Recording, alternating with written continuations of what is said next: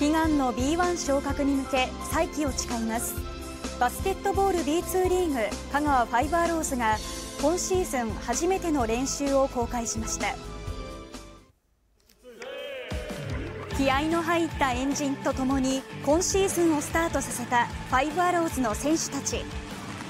新加入選手2人も参加した今日の初練習はおよそ1時間半にわたり体幹トレーニングやシュート練習など基礎的なメニューで汗を流しました。昨シーズン B2 リーグ西地区での初優勝を経て挑んだプレーオフではあと一歩で B1 昇格を果たせなかったファイブアローズ。今シーズンはチームの持ち味である機動力と強度の高い守備力を武器に悲願達成を誓います。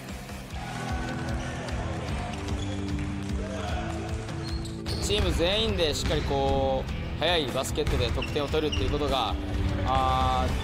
できてきたのであのこれから一つ一つ、まあ、オフェンスも、まあ、特にあのディフェンスもしっかり集中して、えー、昨シーズン以上に強いチームっていうのをこう作り上げていければなと思ってます